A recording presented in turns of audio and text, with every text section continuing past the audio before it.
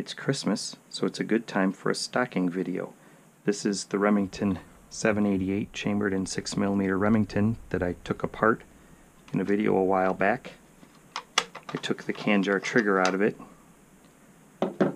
It's not a bad rifle all in all. It uh, has a couple nicks in it here and there. So I figured I'd put it back together, straighten it up. I have a replacement trigger for it, a stock one. I may end up buying a Timney for it or whatnot. And at the same time, I've also brought out this Remington 788, this red one. I call this the red rifle. It's in 308 Winchester. I purchased this rifle at a gun show a few years back, and it had this stock fitted to it already. Um, the stock was broken behind the bolt handle, and the barrel was contacting the channel in the front, and it was very asymmetrical. So I straightened the stock out I had to do a fair amount of work here to replace some missing wood so it has some composite material here. There wasn't any way that I could finish the stock and have it look correct so I just chose to spray it with some of this cheap Rust-Oleum Universal Paint and Primer in one. It's got a few coats of that on there. I shot the rifle a fair amount and it shoots well but the stock has a lot of angle in the bottom of the butt stock and with this trigger grip or this pistol grip it's very difficult to shoot out of bags. It's got a rollover Monte Carlo. It's uh it's quite comfortable in the offhand. It's uh not bad for that. And the rifle does shoot well. Um, this has a Timney trigger in it. I replaced the factory trigger that was in it because it had an unsafe kitchen gunsmith job on it. The sear engagement was at a negative angle and it would slam fire and it was just just an unsafe situation but I don't enjoy shooting this stock off the bench at all. Because of this angle it's hard to get it to ride good in bags and then this back side of the grip always hits me in the rear hand. And at the same time I also have out the uh, up here to the top and got my head camera on. I'm trying not to bob around too much. This is a 788 chambered in 222 and that this is my most recent 788 this one is a uh, 223 and it has a heavier barrel on it than I would expect on a normal 788 I haven't found any literature or documentation of heavier barrels on 788s. Everything about this leads me to believe that it is a factory barrel. Everything else about it is very 788-ish. 788-ish. It has the screw holes for the sights in the right place and everything, so I'm certain that it's factory. Uh, but it is a heavier contour than the 222 that you see above it. So anyway, about the, the video, the Christmas stocking video, I've managed to come up with a couple of Remington 788 stocks.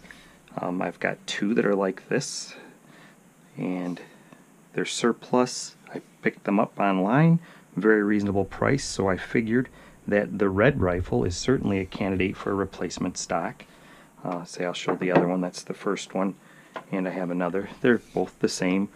Uh, they are not perfect. They have a few um, little marks. This, you know, I can take care of these things, very light finish issues.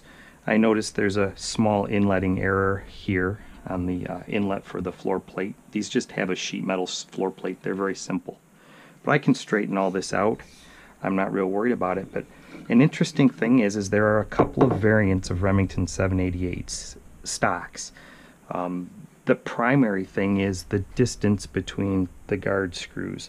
On the 308 the 6 millimeter, um, and a couple of the others, this dimension is 7 and a 16th. On the shorter rifles, the 222, 223, I believe the 30-30, uh, maybe the 44 Magnum, this dimension is 6 and 3 quarters. Uh, I found stocks in both dimensions, but I only purchased stocks. These two replacement stocks or surplus stocks are the longer ones, the 7 and a 16th of an inch between the guard screws, which will fit the red rifle, which is a 308, and this 6 millimeter. That should be the right hole spacing for that. I don't know if the stocks are seconds or blems. I did notice on the front of this one there's some odd uh, checking. I don't know if that's in the finish or, you know, who knows. These have probably been warehoused forever. Uh, they are new. They do have uh, factory Remington butt plates on them. So you know, I think everything's correct about them. Uh, they've just been sitting around in surplus for a long time, and we'll have to see how they work out. Now, other differences in 788 stocks over time is the wood, the material.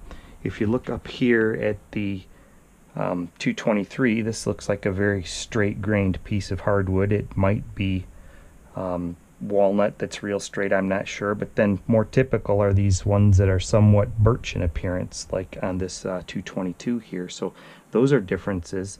And then you can also see two variants here if I got my camera pointed in the right spot. Um, some of them, the steel floor plate is simply surface screwed to the bottom of the stock like this rifle. And then on some, they're inlet like on this rifle. Now, when I did the work on the red rifle stock, I inlet the plate myself because with the Timney trigger, the clearance was a little better if the plate were inlet. This stock is a little bit deeper in this dimension than a standard stock, so I went ahead and inletted that myself and brought that down. Um, I always figured I would carve on this stock a little more. I thought about putting a, a flat bag rider on the front and uh, maybe even changing the shape back here to make it ride in the bags better. I looked at several alternatives for aftermarket stocks and I just didn't find anything that I really liked. Um, I was pretty much uh, of the opinion that I would just buy a Remington 700 stock that didn't have the action inlet. It just maybe had the action channel and the barrel channel cut, and then I could do the rest of the inletting to fit the 788. The tube is more or less the same. The trigger group, the bolt, and all that is different, but I could make it work. But I came across these surplus stocks at a fair price, so I bought a couple and will adapt these to work. I think I will probably just go ahead and see how the 6mm fits in it. Uh, put some bedding on the recoil lug. It just has a standard routed recess for the recoil lug. Um, 788s have a relatively heavy recoil lug on the front of the receiver, similar to a 700, but actually even a little heavier. Um, so I can uh, I can bed this up and, and give one of these stocks a try. The other thing that's different about some 788 stocks is some of them have this raised cheek piece. It's not really a Monte Carlo. Um, none of them have any checkering or anything. They're a very Spartan rifle, but some of them have this uh, Monte Carlo rise. Some of them do not. So, like if you look up here at my uh, at my um, 223, it does not have the raised cheek piece on the stock the 222. I'm trying to get this in the camera view. Can't see what I'm doing here. I'll hold up my preview here. Yeah, now I can see. Yeah, the 222 does have the raised cheek piece. So there's a couple differences there. I found conflicting information regarding timeline, and I've looked at the Remington uh, date codes on the barrels on the three of these rifles, and I've tried to make some sense of which stock is on which rifle assuming that other than the red rifle that they are the original stocks. Uh, that may be a bad assumption. You have no way of knowing. But if you look at the 308, which is the red rifle, I have no idea what the factory stock looked like. I never saw that rifle wearing its factory stock. It's had this aftermarket custom stock on it uh, since I got it. And like I said, I straightened it up, fixed it, rebedded it, did all that, uh, put this Evolution Gunworks base on it, and uh, and shot it from there. So I don't really know how that one was configured by the date stamps on the barrel, that rifle says uh, March 1977 for the manufacture date. So I can't draw too many conclusions from that. There's also two families of trigger groups. Um, the 77, you know, the, some of the some the 77 manufacture date, I'm not sure which trigger group it would have. They changed them at some point in time to lock the bolt with the safety uh, rather than letting it run with the safety on. I don't remember which was first, but there's been some differences over time. And if we look at the 6 millimeter here in the stand, this one's kind of got this birch looking stock, and it does have the raised cheek piece. Uh, it has sling swivels, which you don't know if those are factory or not, but they might be, they might not be. The plate on the bottom is not recessed. And uh, this one, its manufacture date uh, is an X in the year, so it's 73. I can't make out the month, but this is 1973 birch stock with a raised cheek piece, uh, certainly earlier manufacture than the 1977 vintage 308. And then the 223 here in the, the middle here, this one, uh, it dates to January 82. That's quite late for a 788. 82, 83 would be towards the end. Um, I'm guessing that's why the heavy barrel came along. It's in that vintage when that started to become kind of popular with 223s. This one's a rather plain birch stock. It does not have the raised cheek piece, but it does have the recessed bottom plate. So even though the recessed bottom plate would probably be a more expensive operation, it has kind of the cheaper variant of the stock, if you will. So it's kind of interesting that it's that way. The 222, however, it's got the more walnut looking stock. It does have a raised cheek piece, but the steel floor plate is just on the surface. It is not recessed. So probably more expensive stock, but less expensive fitment. fitment. So that's kind of interesting that there's not a lot of continuity. That's the oldest rifle. Uh, it dates to 1967 from the date codes and the serial number block.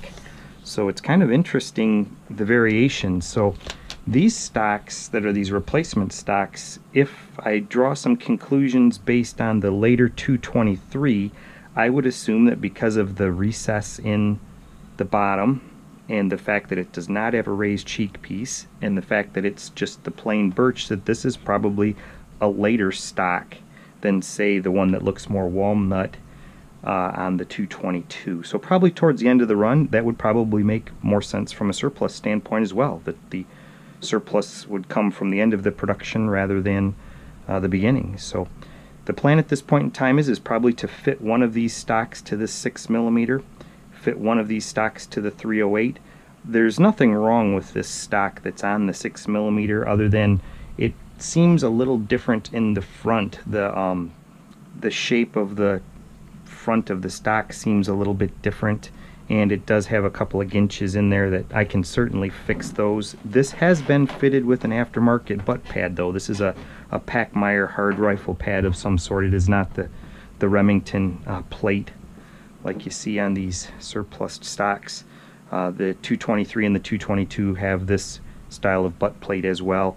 The red rifle there, it has uh, a similar, uh, I, am not sure if it's a Pachmayr or or what brand I'd have to look at the label there. I don't know if I can see that or not. Yeah, that's a Pachmayr white line stock as well, or white line recoil pad as well. So there's some interesting variations. Um, I can dial this in and get a little bit better time date on it. I just wanted to do a quick Christmas video because it's a stocking project and uh, project.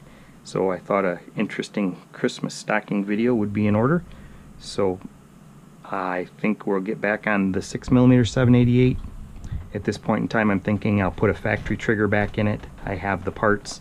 Uh, we'll see how it feels. If it's terrible, I'll order a Timney, put it back together with one of these uh, surplus replacement stocks, and go from there. So, Merry Christmas 2020 to everyone, and I'll see everyone soon. Thanks for watching.